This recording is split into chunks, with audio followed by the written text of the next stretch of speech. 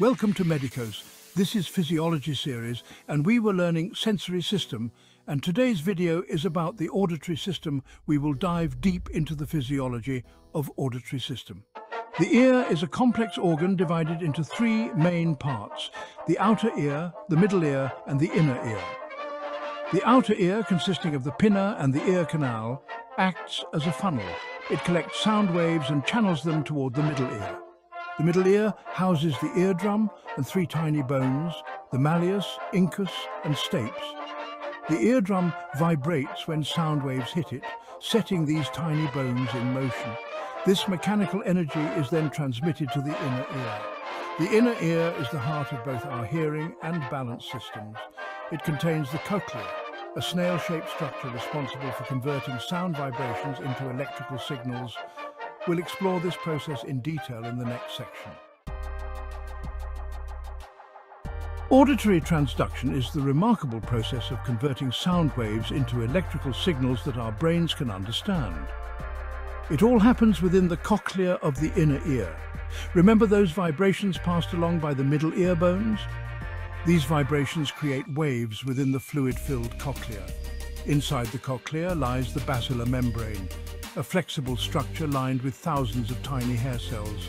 As the fluid waves travel through the cochlea, they cause the basilar membrane to vibrate. This vibration, in turn, bends the hair cells. The bending of these hair cells triggers a cascade of electrochemical events, ultimately generating electrical signals.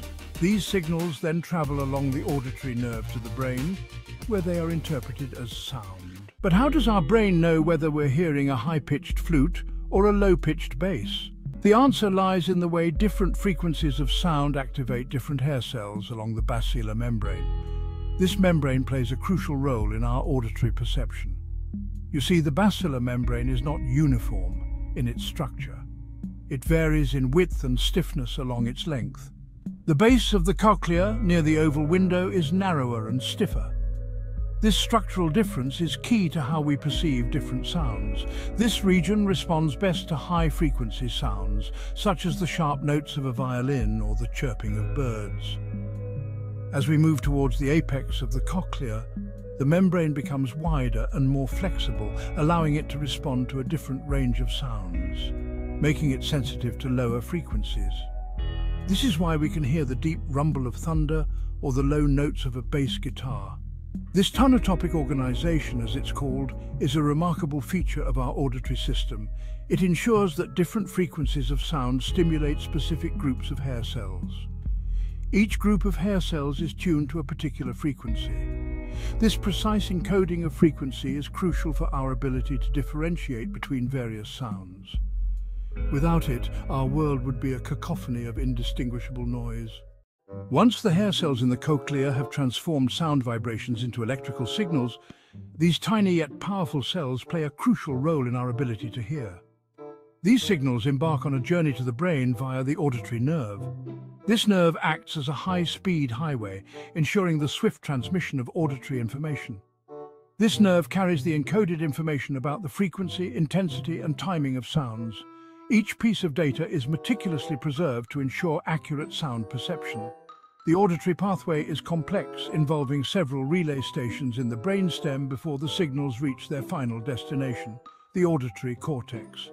These relay stations act as checkpoints, refining and processing the signals. This specialized area of the brain is responsible for processing and interpreting the incoming auditory information. The auditory cortex deciphers the signals, allowing us to recognize and understand different sounds. Lesions or damage along this pathway can lead to various hearing impairments. The integrity of this pathway is vital for normal hearing function. For example, damage to the auditory nerve can result in deafness, a condition where the transmission of sound signals is completely disrupted, while damage to the auditory cortex can impair our ability to understand speech or localize sounds. Such impairments can significantly affect communication and quality of life. Now, let's shift our focus from hearing to balance, another crucial sense that relies on the intricate workings of the inner ear. While hearing allows us to perceive sounds, balance helps us navigate our environment safely and efficiently. Our sense of balance, or equilibrium, is maintained by the vestibular system, a complex sensory apparatus located within the inner ear. This system is essential for our daily activities, from walking and running to simply standing still. The vestibular system works in close coordination with our visual and proprioceptive systems, the sense of our body's position in space. Together, these systems ensure that we can move smoothly and react quickly to changes in our environment. It provides the brain with information about head movements and spatial orientation, allowing us to maintain our balance and coordinate our movements.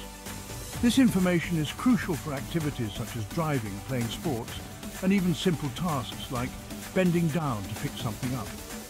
The vestibular system consists of three semicircular canals and two otolith organs, the utricle and the saccule. Each of these components plays a specific role in detecting different types of motion and orientation. These structures are filled with fluid and lined with specialized hair cells, much like the cochlea. When we move, the fluid inside these canals shifts, causing the hair cells to bend and send signals to the brain about our body's position and movement. The semicircular canals are responsible for detecting rotational movements of the head, like shaking our head no or nodding yes. These three canals are oriented at right angles to each other, allowing them to sense rotation in all three planes of motion. Each canal is filled with a fluid called endolymph. When we rotate our head, the endolymph within the canals lags behind due to inertia.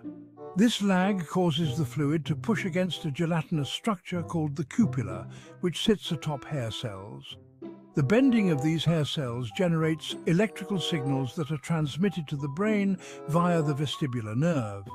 The brain then uses this information to interpret the direction and speed of head rotation.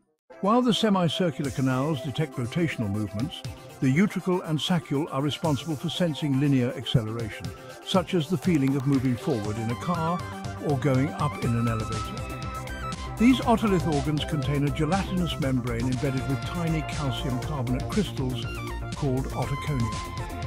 When we accelerate linearly, the otoconia, due to their inertia, lag behind, causing the gelatinous membrane to shift. This shift bends the hair cells beneath the membrane, generating electrical signals that are sent to the brain. The brain then uses this information to determine the direction and magnitude of linear acceleration.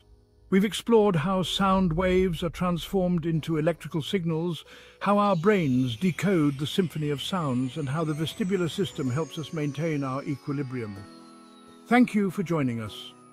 Stay tuned for more educational content from Medicose, where we'll continue to unlock the mysteries of the human body. So you subscribe to be with us until next time. Stay balanced and keep learning.